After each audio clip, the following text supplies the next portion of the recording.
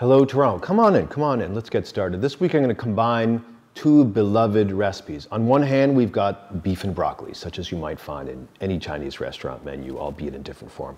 On the other, beef tartare, which you'd find in any bistro menu, albeit in different form. What we're going to do is mash them together until, as in the sex move North York handshake, we don't know where one ends and the other begins. As always, with beef tartare, with any beef tartare, we want the freshest possible beef. It's still maintaining its color, and we're going to slice it into little bite size, I'd call them pebbles. For this dish, I'm just going to use the florets. Save the rest, you can use them for something else. Chopping broccoli, chopping broccoli, chopping broccoli.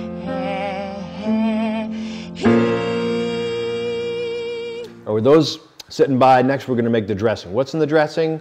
Soy sauce, fish sauce, sesame oil, a little bit of sugar, ginger, chili, lime, Szechuan chilies, and sesame seeds. Also for garnish, I don't know if you call it garnish if you put it under the dish, but I want some more crunch and I'm gonna use some rice cakes. This is what I found in Chinatown. And I'm just gonna break these into chunks. Oh, hello. You caught me relaxing with some fine whiskey and an even finer toothpick. These are, of course, Daneson toothpicks. And when I had over the maker of Daneson toothpicks, Peter Smith, for dinner, even though we ate a lot of corn and poppy seeds and broccoli and sesame seeds and certainly got things stuck in our teeth, he said that while technically you could use them for getting things out of your teeth, it's simply not done. These are luxury goods for use in uh, relaxing with your A-list friends. I mean, John Cusack, star of Hot Tub Time Machine 1 and Con Air uses them, so, you know, have some respect. To finish our beef and broccoli tartare, we are going to mix our beef and our broccoli with this dressing. Give it a good mix and then mount it over the crispy rice cakes with a little bit of sesame seed and scallion garnish.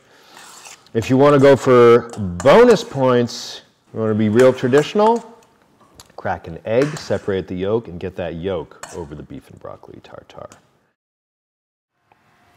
Now you may, if you make this, as I just did, get a small amount of broccoli or sesame seeds stuck in your teeth.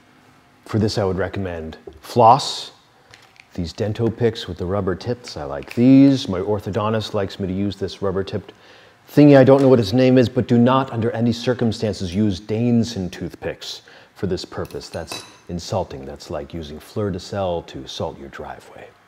Until next week, I'm Gentleman Corey Mintz for thestar.com.